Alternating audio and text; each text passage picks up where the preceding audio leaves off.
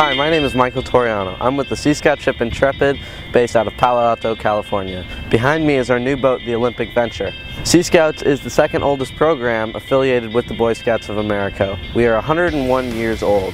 We focus on maritime adventure, sailing, regattas, cruising, swimming, maritime safety, engineering, marlin spike, advanced leadership classes, water skiing, and having fun. The Sea Scout program is about preparing young people for their lives. Sea Scouts prepares young people for their lives by teaching them leadership, responsibility, and keeping a smile on their face.